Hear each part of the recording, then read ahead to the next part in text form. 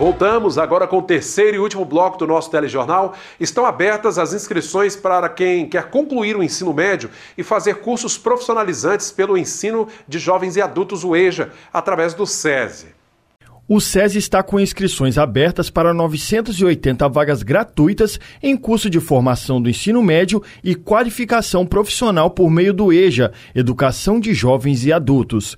Em Linhares, serão 140 vagas ofertadas, sendo que as inscrições serão realizadas de forma virtual e vão até outubro. O curso de supletivo será ministrado na modalidade EAD, com uma aula presencial por semana. Além do ensino médio, o aluno terá acesso a um curso de qualificação profissional.